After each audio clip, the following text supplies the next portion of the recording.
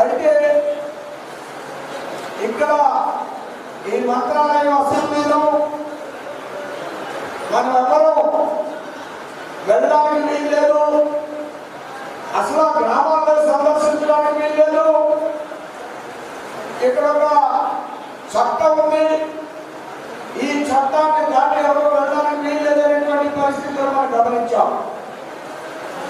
దీన్ని భారతీయ జనతా పార్టీ పాకిస్తాన్ ఎదుర్కొంటది. Bharatiya Janata party China ఎదుర్కొంటది. ఈ యొక్క గ్రామంలో ఉన్నటువంటి ఎమ్మెల్యేలు ఇక్కడ ఉన్నటువంటి అరాచక శక్తుల్ని భారతీయ జనతా పార్టీ లెక్క చేసే ప్రసక్తి లేదని ఇలాంటి అరాచక శక్తుల్ని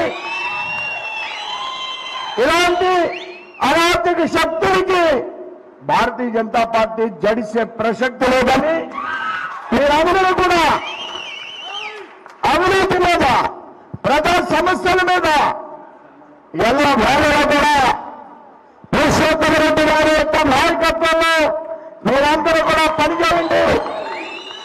మీకు భారతీయ జనతా పార్టీ ఎల్ల వేళలా మీతో అండగా ఉంటుందని మీ అందరు కూడా నేను ఈ సభాముఖంగా తెలియజేస్తున్నాను. గాడ్స్ చూశాం. ప్రభుత్వం నియమించినటువంటి గాడ్స్ చూశాం. అది అసలు గాడ్స్లోనే లేవు. నేను రాజమండ్రిలో పుష్కరాలు చూశాను. అలానే కృష్ణా నదిలో పుష్కరాలు చూశాను. తుంగభద్ర పుష్కరాలు కూడా చూశాను అక్కడ చంద్రబాబు నాయుడు అయితే పదహారు వందల కోట్లు పన్నెండు వందల కోట్లతో బాగా కాజేస్తాడు వీళ్ళు కూడా తక్కువే ఖర్చు పెట్టామని చెప్పి మేము నూట యాభై కోట్లు రెండు వందల కోట్లు ఖర్చు పెట్టాం. ఎక్కువ ఖర్చు పెట్టలేదు అనేది చెప్తూ ఖర్చు పెట్టినటువంటి గాడ్స్ ఏ మాత్రం కూడా సజావుగా వర్క్స్ లేవు. చాలా నాసిరకంగా ఉన్నాయి. ఎప్పుడు కూడా ఆ ఘాట్స్ ఇంకా నిర్మిస్తూనే ఉన్నారు. పూర్తి కాలేదు. పుష్కరాలు జరిగేటప్పటికి కూడా పని ఏమాత్రం కూడా సజావుగా లేదు. చూసినటువంటి ఘాట్స్ నదిలో ఘాట్స్లా లేవు అవి స్నానాలు చేసేటువంటి ఘాట్స్ లాగా అవి ఏమాత్రం కూడా లేవు. ఈ విధంగా ఆ కన్స్ట్రక్షన్ విషయంలో తప్పకుండా భారతీయ జనతా పార్టీ జరిగినటువంటి అవినీతి మీద పోరాటం చేస్తామని మీ ద్వారా నేను తెలియజేస్తున్నాను. భారతీయ జనతా పార్టీ నరేంద్ర మోడీ నాయకత్వంలో ఇవాళ ఆంధ్ర రాష్ట్రంలో తెలుగుదేశానికి వైసీపీకి ఒక ప్రత్యామ్నాయ శక్తిగా జనసేన భారతీయ జనతా పార్టీ రాబోయేటువంటి రోజుల్లో రాబోయేటువంటి రోజుల్లో ఈ యొక్క రాష్ట్రంలో ఒక ప్రధానమైన శక్తిగా ఈ రెండు పార్టీలు గతంలో అవినీతి చేసిన తెలుగుదేశం పార్టీ ఇవాళ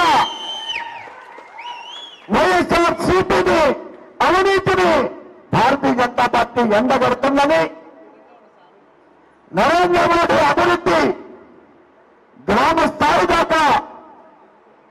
నరేంద్ర మోడీ చేసేటువంటి అభివృద్ధి కర్నూలు జిల్లాలో భారతీయ జనతా పార్టీ కేంద్రం ద్వారా చేసేటువంటి అభివృద్ధిని ప్రధానికంగా సామాన్యుల యొక్క గ్రామాల్లో జరిగే అభివృద్ధి ఏ నిర్మాణంలో జరిగేటువంటి కార్యక్రమాలు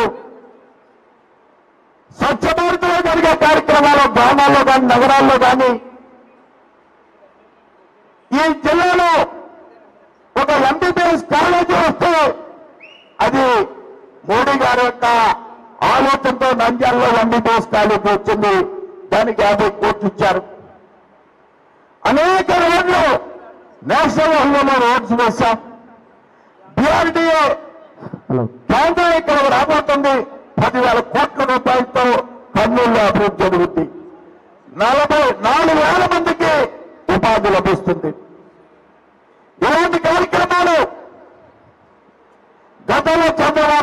చేయగలడా? ఎలాంటి కార్యక్రమాలు? జగన్మోహన్ రెడ్డి చేయగలడా? జరిగే కార్యక్రమాలన్నీ కూడా మోడీ గారి యొక్క ఆలోచనతో జరుగుతున్నాయి.